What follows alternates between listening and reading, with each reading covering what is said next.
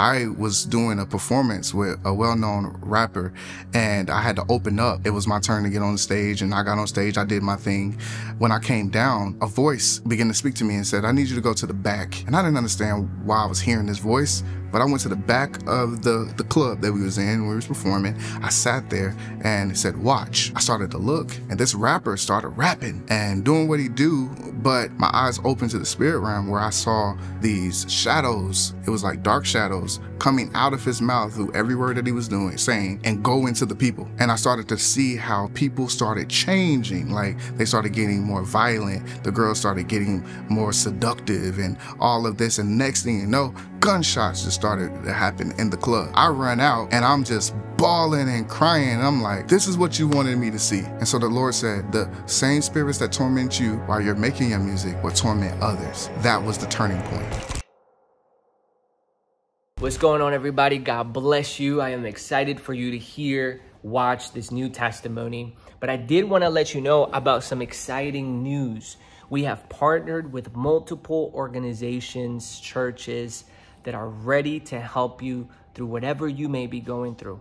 Okay, now we've reached 50 million people all over the world, and we have seen time and time and time again in the comment sections the needs and uh, and we prayed about this. We asked the Lord to to guide us and to provide resources, and uh, thankfully, the Lord has answered, and we have those resources for you. And so, if you are in need of help, if you are in need of a church, if you are in need of community, if you just want to talk to somebody about struggles that you're going through or questions that you have.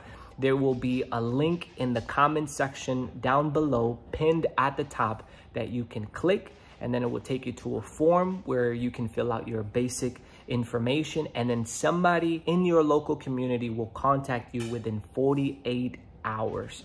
We're really, really excited about this, so please take advantage of it if you need to, okay? God bless you and enjoy the new testimony. Well, Anthony, it's an honor to have you on Delafé Testimonies today. Uh, for the people who may not know you, who maybe have never seen you, could you just introduce yourself very briefly to those who are watching? Yes, sir. I'm happy to be here. Um, my name is Anthony Stanley.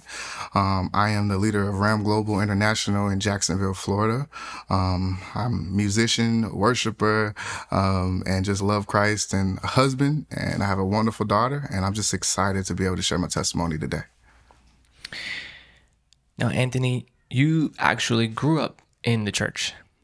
Um, tell us a little bit about that. Tell us what what what was it like growing up in the church, and um, and just tell us about your childhood. Yes, so yes, I did. I grew up in church, um, but prior to when my mom and dad was together, um, when I was a little kid, they got married when I was about maybe one or two.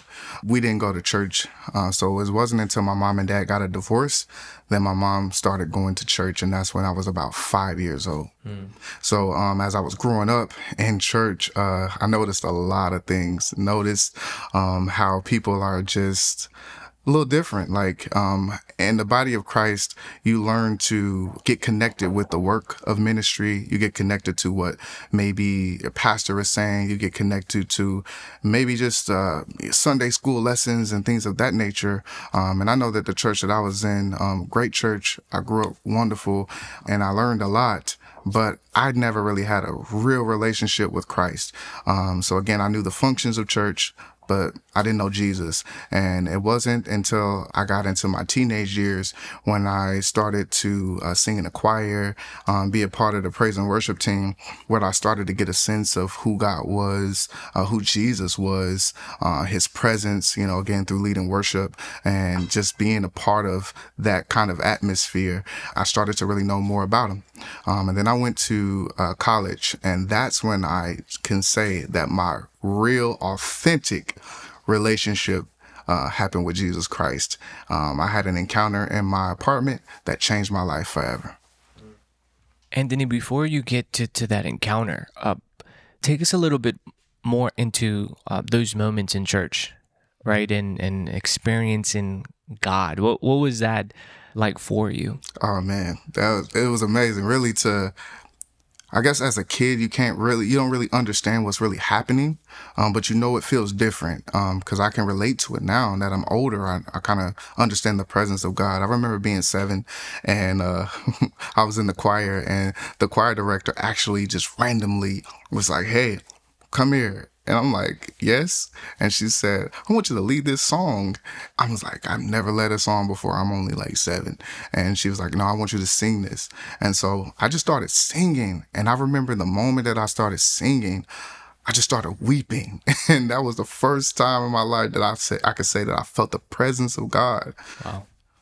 How old were you at that time? I was seven. Wow. Yeah, I was seven. I was seven. And I felt the presence of God. I began to weep. I began to cry. And I'm like really ministering this song at seven. And so that's when I um, really developed a real love for worship and the presence of God. Between that, uh, that those moments when you started to encounter God at an early age to that moment that you, that encounter that you had in college, you said? Yes. Um, what was that that time like from from childhood to college? Were you just walking faithfully with the Lord?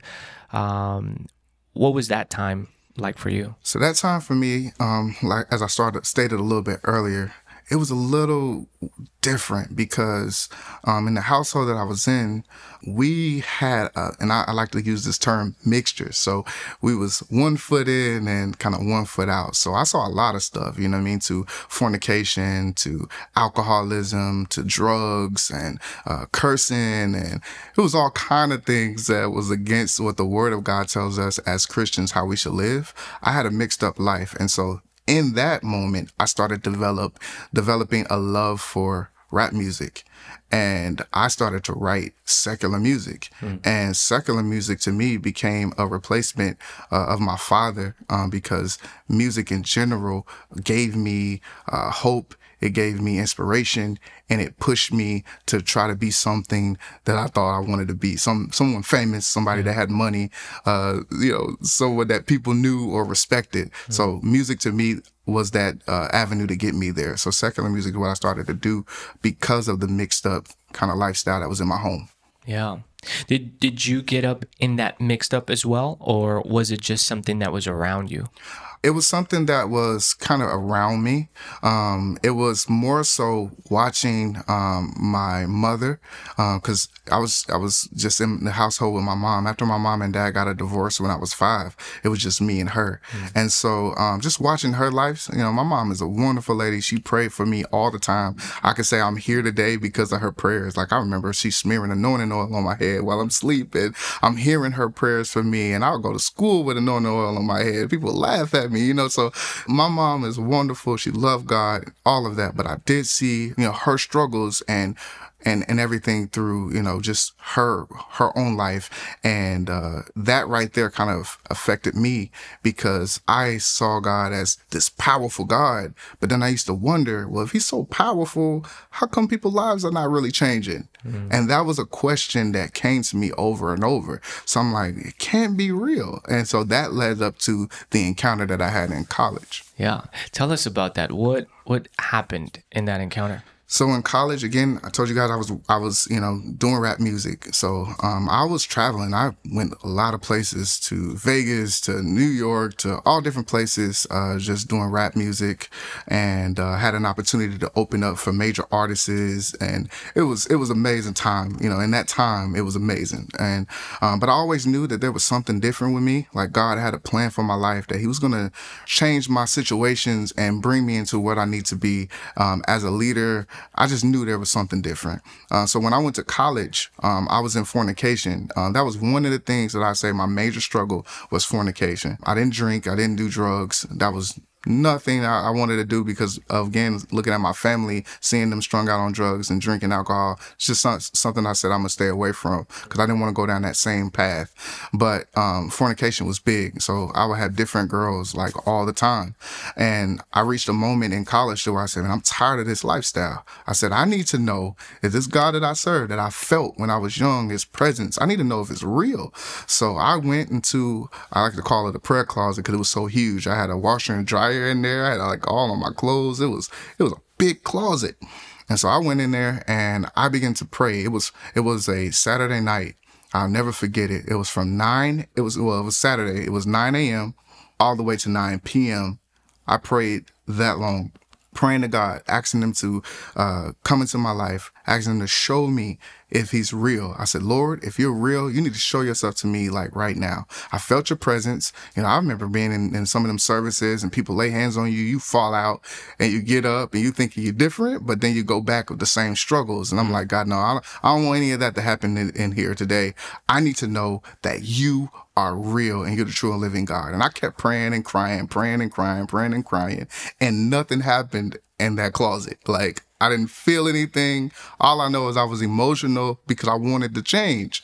So I got up out of that closet. I said, no, he's not real. You know, all this stuff I've been doing and experiencing is just all emotions. So I grabbed my broom and I began to sweep and like a mighty rushing wind, here come the Holy Spirit into my apartment, knocks me face first on the ground. And for the first time, I'm filled with the Holy Spirit and I'm speaking in a whole nother language. And I'm like, this is totally new for me. I look up and here's this cloud hovering over me. And I knew it was real. Like I thought I was like hallucinating at first, but like I didn't take any drugs or anything. So I just thought that I'm having this mental breakdown or something. But I knew it was real because my dog, I had a little dog and she saw the same thing I was seeing. She was looking up at it and was barking and like running in circles. And I'm looking up and there's this cloud that appears before me. And out of this cloud, a voice comes and it says, Anthony, I called you to be a prophet to the nations. I'm going to use you and what I want you to do at this time is I want you to leave school and I want you to go back home. I'm going to raise you up to be a worship leader and I'm going to use you in a great capacity. The prophetic is going to be something that you master. And um, I'm just going to do a lot of different things in your life. And so that's what I remember clear as day. And I was just bawling. I got up off that ground. I picked up the phone and the first person I called was my mom. And she was in church and she was just praying for me too. Cause I said, mom, guess what? Guess what? And she said, What, baby? What? I said, I just had an encounter with Jesus. And she started crying on the phone. She said, I was just at church. I was praying for you. I was praying that God do something for you. And we were just crying on the on the on the phone. And man, I can tell you that was the day that I fell in love with Christ because he showed himself to me. He showed me how real he really was. And um, I started looking the scriptures to find out what I experienced and in Exodus and in uh, and, and Chronicles. Like all of those mentioned when God would show up, it said he would show up like a cloud or the smoke would fill the temples when they were praying. Like when Solomon prayed, it talk, talk about the smoke filled the temple. So I literally saw that in real life and a voice from heaven came down and spoke over me.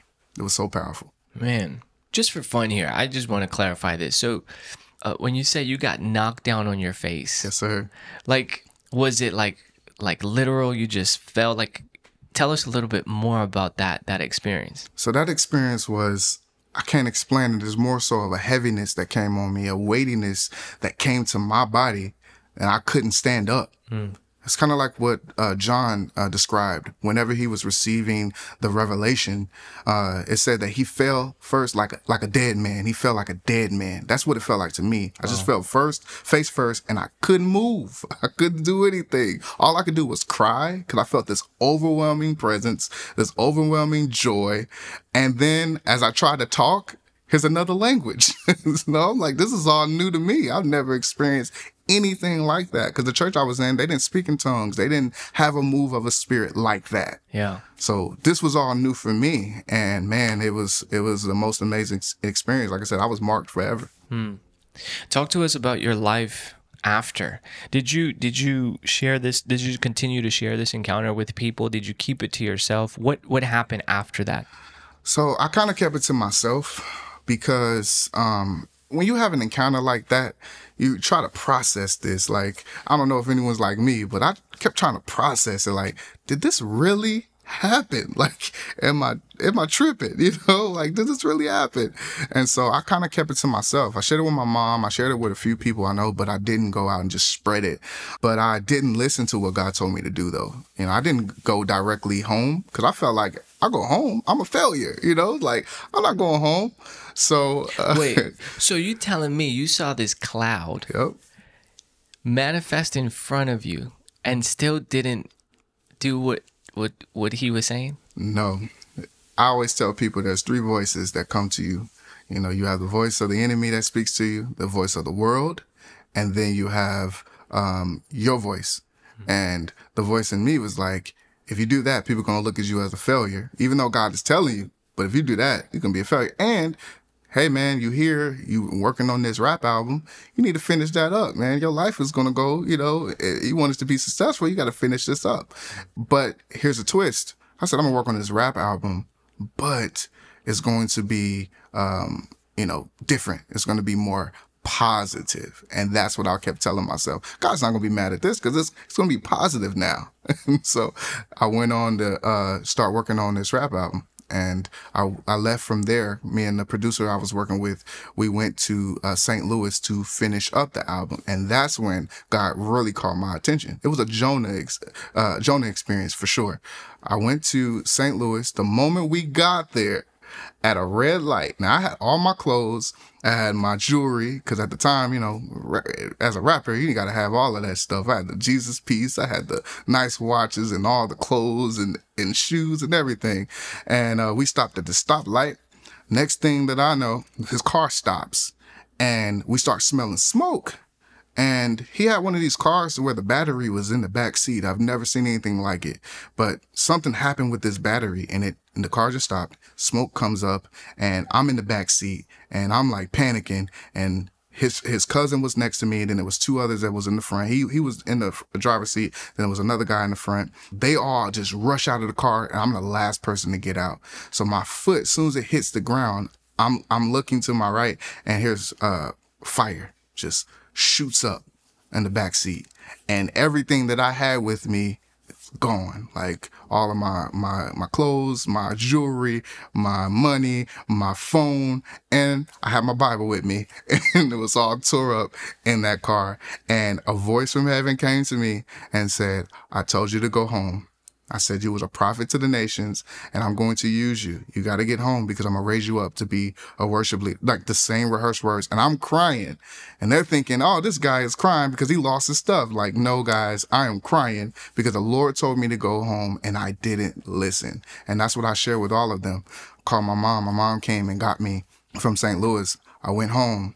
It was a Sunday that I got home. We went to church that same day and all I had was sweats and a t-shirt. That's all I had to go to church. And when I got there, it was one of those Sundays that you know God ordained those Sundays because it's like whatever everything the pastor is saying, he's speaking to you like about your whole life, about you know running from God, and like it was all of that, right? And uh, at, towards the end of the service, he um, actually called on me and said, "Anthony, can you come up and sing?" And I'm like, he don't know what I just been through and I'm I just walked away from God, you know, what he told me to do. I'm running and now you want me to sing? I was like, uh, but I was obedient. I went up and sang. Power of God was in there. You know, people was worshiping, people was receiving, things was happening in the atmosphere and God was touching me. And at the end of the service, here he come, my pastor says, the Lord spoke to me and said, I want to make you the worship leader. And that's where it all started. From there, God just started doing a quick work and I started learning the, you know, atmosphere, started learning the prophetic. Everything he said he was going to do in my life, he did it from that day forward. Anthony, how long have you been walking faithfully with Jesus now? So it was from 2010. So man, for 13. about 13 years yeah, now. 13 years. 13 years. Yeah, looking back at these 13 years, um, what have you seen God do in your life? Now going on that journey with him, he he made you a promise. He began to take you through that promise, but now 13 years in, what has he done in your life? man, 13 years and God has proven to be who he said he is in my life. Uh, everything he told me came to pass as far as learning the atmosphere, learning worship, learning the prophetic. Uh, he started teaching me that there. So I started writing songs and they weren't just your normal songs. They were songs that just changed atmospheres and miracles begin to manifest and happen. Like I've seen so many miracles, cancer being healed and all kind of stuff. And, you know, people getting delivered from evil spirits, like the same things you read about in the scripture where David is playing and, and Saul, you know, and the evil spirit comes off of him. Like I've seen that in in real life just through the worship that God was, you know, training me and pushing me in. And then he didn't just leave me in the area of worship he shifted me to, to speaking, to preaching, and I started getting revelations of the scriptures. He started to downloading um, his word in me, and I couldn't contain it anymore. I had to start preaching.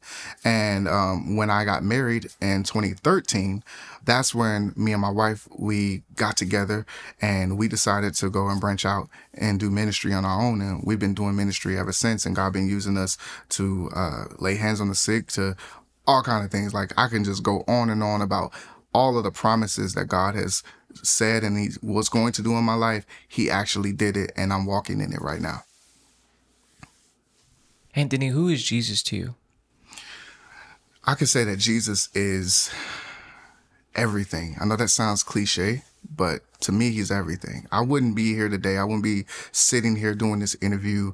I wouldn't be talking, you know, preaching or prophesying or doing anything without Jesus. Uh, I learned how to have a real relationship with him outside of my mom, outside of my pastors, to really get to know him on my own. And from that, I got an understanding of who I am in him. Cause, you know, people would tell you all the time, you know, who you are. And I was confused. I was thinking I'm going to be this rapper. I'm thinking I'm going to be this big person that's going to have all this money and people going to respect and, and look up to.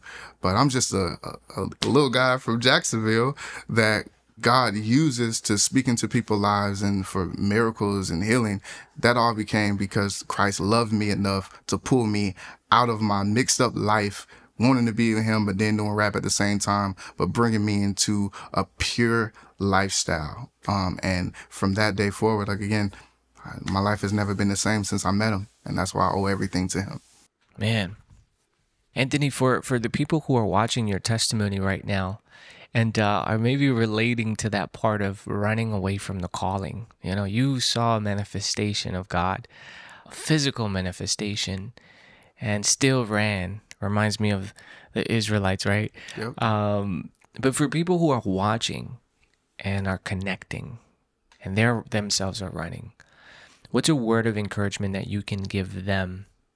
When it comes to just running away from God, I can understand because you have these insecurities. And again, I named those three voices that will speak to you.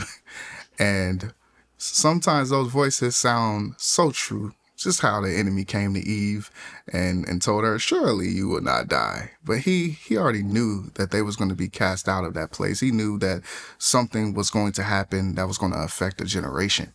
And a lot of times we listen to that voice because we don't realize what God can actually do. Cause we want God to, when he show himself to us, we want to see the full picture. We want to see that he's going to do exactly what he says he's going to do. But no, when he God's called on you, you're still gonna have some struggles. You're still gonna have some issues, but it's not your job to, to try to fight that.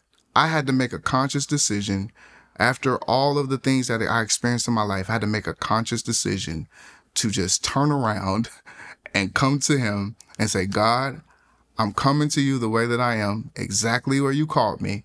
And I'm going to allow you to work on me and to change my life.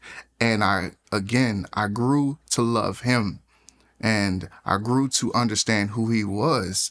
And that's how you won't run because when you know how good of a father he is and how gracious he is and how loving he is, why wouldn't you want to be there? I'm like, I'm like David, you know what I mean? Like, I'm like, Lord, whatever you do, don't take your spirit away from me. And that's my heart today. I don't want to run from it and I don't want you to take it from me. And that's how, that's the place I want to call you who may be going through that or feel like I have to run. No, go to him because it's going to be one of the greatest, the greatest experience that you have ever had in your life and the greatest decision you have ever made in your life. And your life is going to be forever changed. Anthony, you, you went from secular music, yes, sir. creating secular music to now making uh, music for the Lord. Yes. Can you just give a word of encouragement to to those that believe coming to Christianity means well, I just have to stop what I'm doing. I just have to stop uh, making music, right? Overall, what what's a word of encouragement that you can give to those people that uh, have that mindset that they can't continue to be creative because walking with Jesus would stop them from doing that? So I believe in God being the creator of creativity. And when I decided that I'm going to continue to make music in his presence, my ear started to change. And when I say my ear, I mean I started to hear things different. Like I think the sounds that God gives a person is 10 times better than what the enemy can give. And so I don't care who's the greatest producers out there. Whenever God gives somebody a sound, that sound is going to break uh, barriers like uh, racial barriers, uh, whatever barrier. It's going to do things that just other music just can't do. And so when you see that when you start making music for Christ can change someone's life, like, like literally change it, you kind of get addicted to that. So those of you that may be struggling with you doing secular because you may feel like, well, it's okay. You know, the, the songs of Solomon is here. He was talking about love. He was talking about this, but God had to show me something to get me out of it. And then I'm going to share that to you really quickly.